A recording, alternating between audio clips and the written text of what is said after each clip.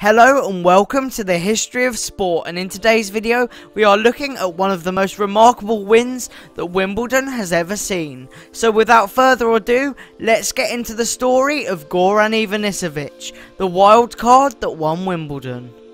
The year was 2001 and the former world number 2 and three-time Wimbledon finalist Goran Ivanisevic had slid right down the rankings and was sitting at 125th in the world.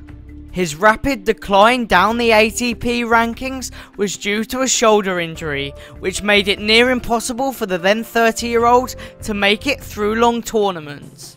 Because he was ranked 125th in the world, his only hopes for qualifying for Wimbledon in 2001 were to receive a wild card from the All England club, which is exactly what he got.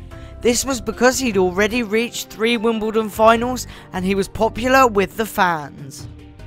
One big change to Wimbledon in 2001 is the number of seeded entries in the draw was expanded to 32, and as Goran had slid down the rankings, he would no longer be a seeded entry, so as a result in order to get to the final, he would have to battle past some high ranked players. Goran Ivanisevic first reached the Wimbledon final 10 years previously, where he had an intense 5 set battle with Andre Agassi. The Croatian had all the momentum going into the fifth set, winning the fourth 6-1. However, the American Andre Agassi used all of his prior experience to win the match.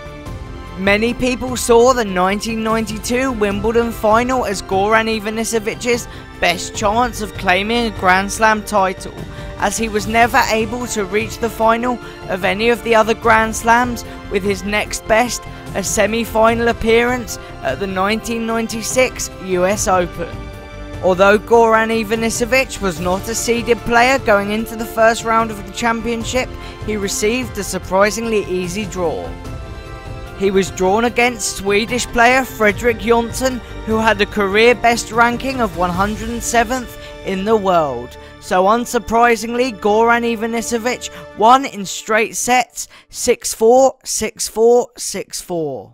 So Goran Ivanisevic had a strong start to the 2001 Wimbledon Championships. However, no one could tell what was about to happen next.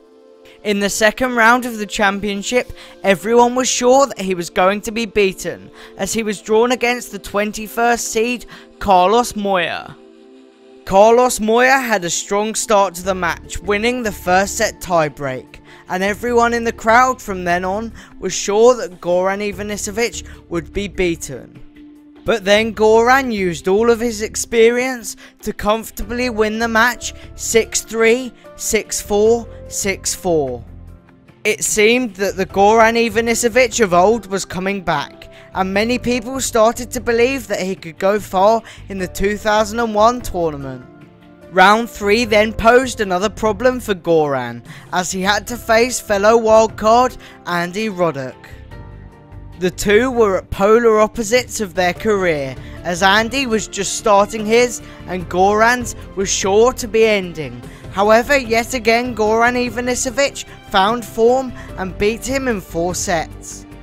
The round of 16 was also surprisingly easy for Goran Ivanisevic as he was to face Greg Rusedski, who was far past his prime, and Goran blast past him in straight sets 7-6, 6-4, 6-4. Before Goran's quarter-final against the 4th seed Marat Safin, Roger Federer had just knocked out Pete Sampras, who at the time was the top seed, so people were sensing that the draw was about to open up and it could be Goran's chance to clinch a Grand Slam title.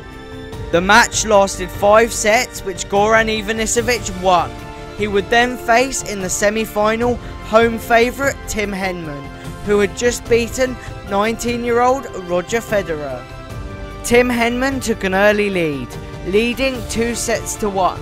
However, due to unbelievably poor weather in 2001, the match had to be played over three days, and as a result, the momentum kept swinging between the two players.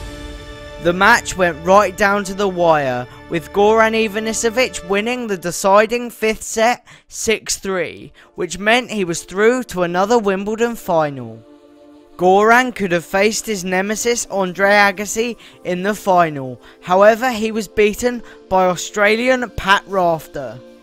Due to persistent rain and the fact that the centre court had not yet got a roof, the final was to be played on Monday, that was nicknamed People's Monday, and the people on centre court that day were treated to one of the best ever Wimbledon finals.